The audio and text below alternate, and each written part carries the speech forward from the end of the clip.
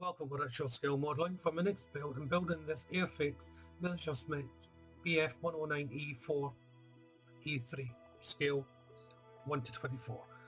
Now this is um, an older Airfix kit. It's um, quite basic um, but it's at a very large scale you know so it's um, always fun to do these scales.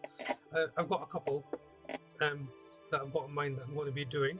But let's see what's in this box. As you can see, it's a rather large box.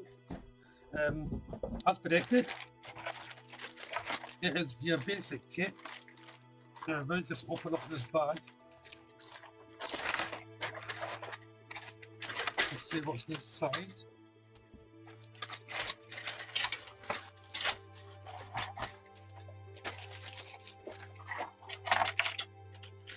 I mean, straight off the bat, you can tell it's an old mold. So there's probably going to be a lot of work involved getting it to where you, you would like it. Have rubber tires, comes with its own stand, which is always nice. You have the clear parts here for the canopy. Not the best quality, they're going to need to be um, polished up I think. Um, a bit of future uh, polish will do that, or clear. There's bits already off the sprue, which you're going to have to be careful with if you've got this kit, to make sure everything comes out the bag. You have the rings now. There's one thing I hate about these older kits is how they connect it to the sprue. That they're always big lumpy bits um, on the actual part and they they need um, looking at um, well they need dealing with more than your normal um, modern day kits which is always unfortunate so a bit of cleaning up to do again more parts off the sprue which is annoying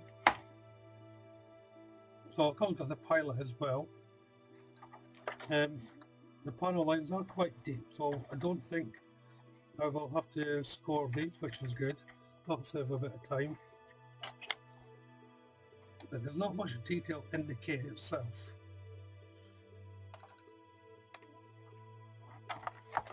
Well, this is the so for what the fourth sprue has in total. Yeah, yeah. So if you look at it closely, there is quite a bit of cleaning up to, especially on the pilot. I mean, this is the problem here, it's quite a big uh, chunk of plastic you have to snip off. Turn it this way. That you have to snip off before you uh, line up with the other half of the fuselage. And of course you don't want to do it too much or it'll come off. Decals large decal sheet, obviously it's a large plane. So there's two different variants uh, by looks on the box.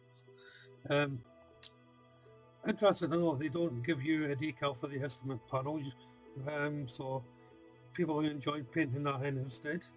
Uh, others who don't enjoy painting it, well, you know, it's sometimes good to get a practice. I'm happy either way. The instructions, I would imagine, these are going to be basic as well. Since it is the older kit. Yeah. Not really much in detail at all. This kit can really do with a revamp, I think. And at the end we have the, the two variants. 1940 version and 1942 to 43 version. Um, I'll probably just go for the classic look, although I like the decals on there. Well, um, again, I can't make up my mind what variant I'll do on that. I'll have a look at it and see um, where I go. So that's the build, um, what's in the box. Um, as I said, it's a basic. Um, I'll be straight of the box uh, build. I know you can add uh, things uh, to to this if you, if you wish. But um, for me, it's just going to be uh, a basic build. I just want the um, the plane itself. I'm not worried about uh, too much detail inside it. This is why I, I don't mind the type of kit it is. So if you haven't done so already, why don't you check out the other builds on my channel. Uh, there's one or two there for you to have a look at.